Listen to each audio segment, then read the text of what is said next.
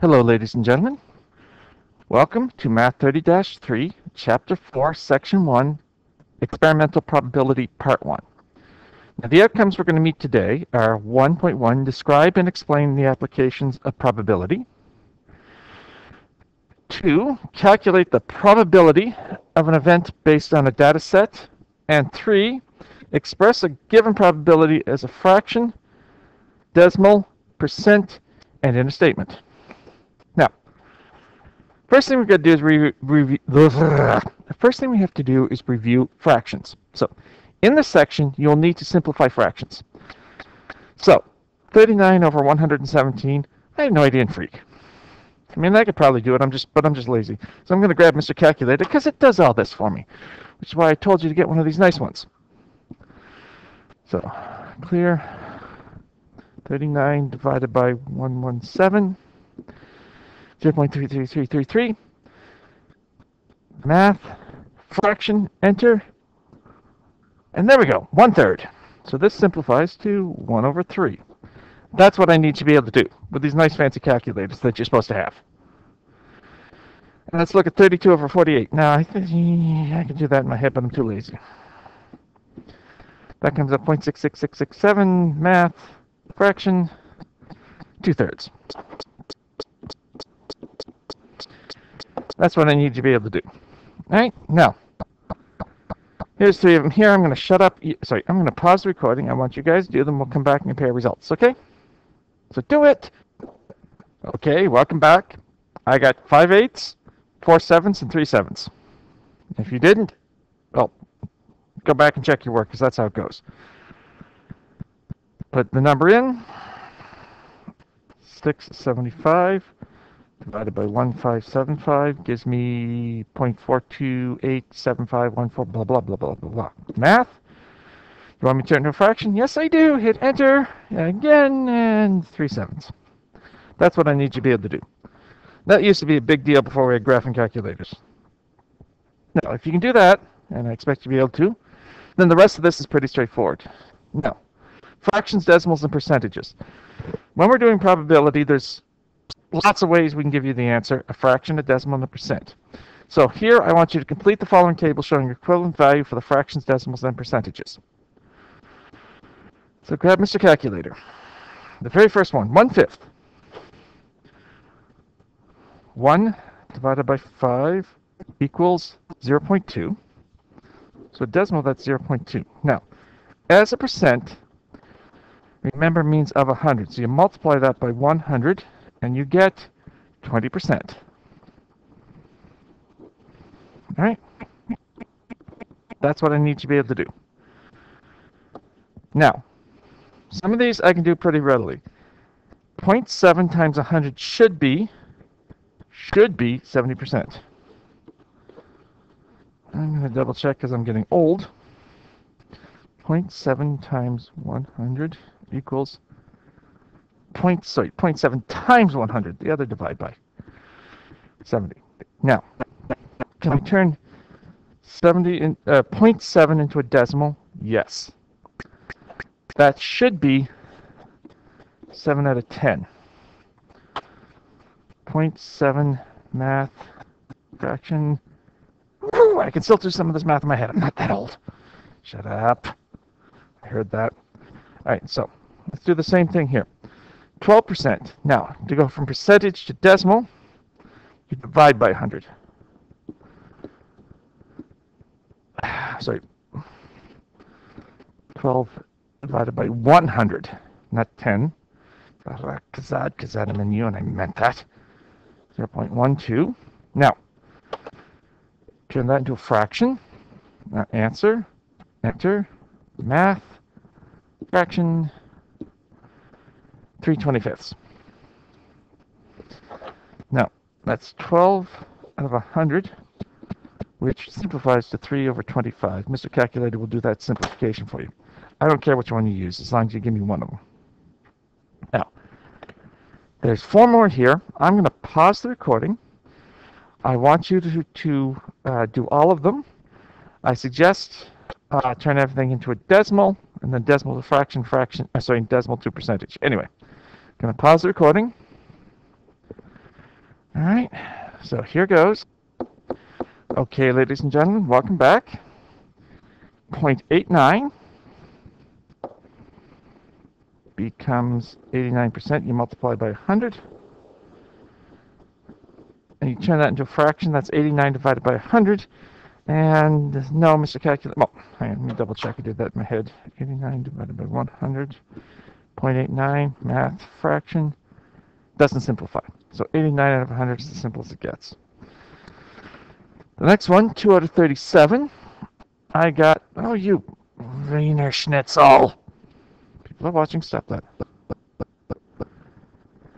2 out of 37 became 0. When I divide that, that was 0 0.054 something, something, something. Multiply that by 100, you get 5.4%. 0 0.03, divide that by 100 is 3%. Now 0.03 is 3 out of 100, and you can't simplify that anymore. 45% is 0.45. Turn that into a fraction. You get 45 out of 100. Mr. Calculator will simplify to that to 9 twentieths.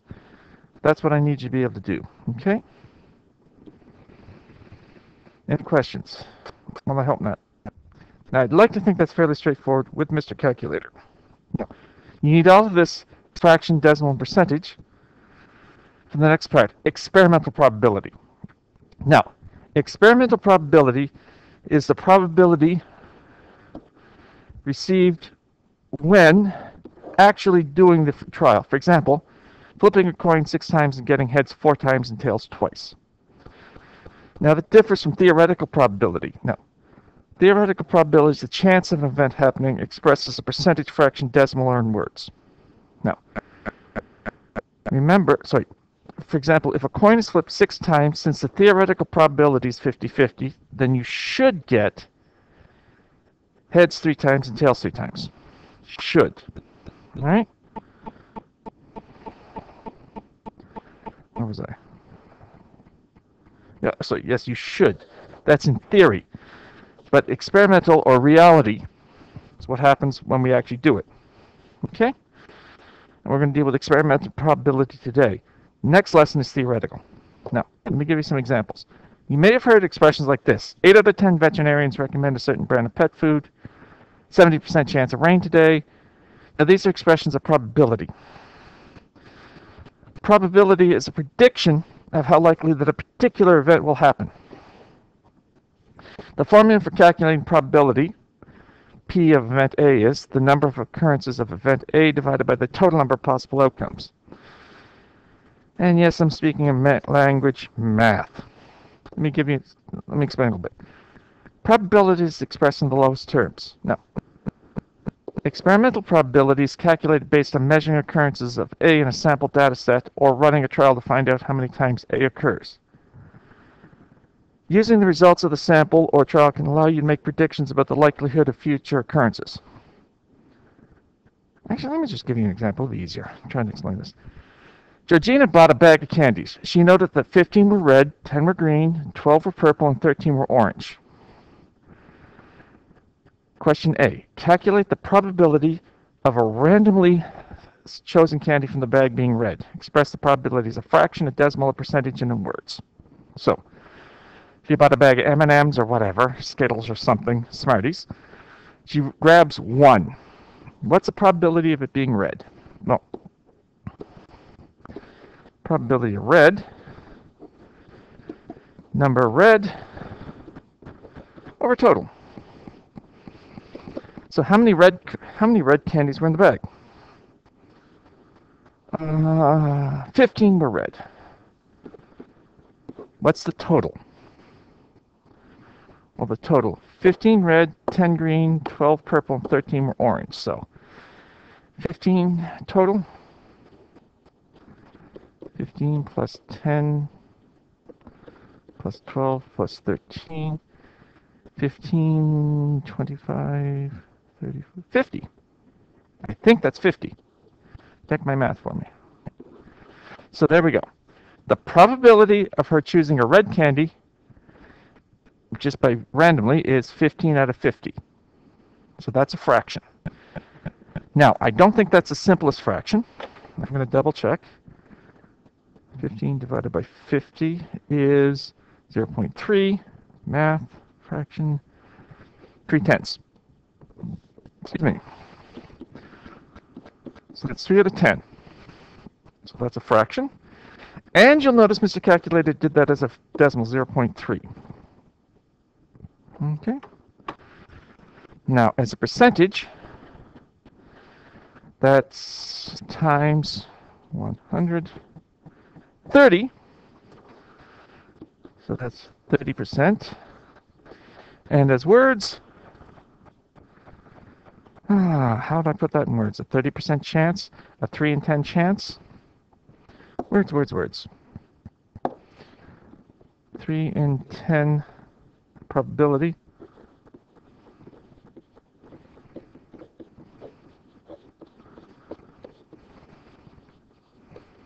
Choosing a red. Of randomly choosing. I want to stress that because she's reaching in and randomly grabbing one.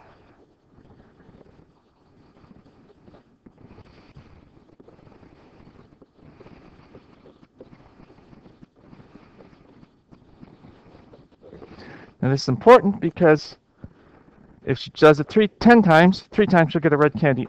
Now that's experimental probability. Okay? So, and I'm going to pause there to look at this and we're going to go on to the next questions, next examples. Okay? Okay?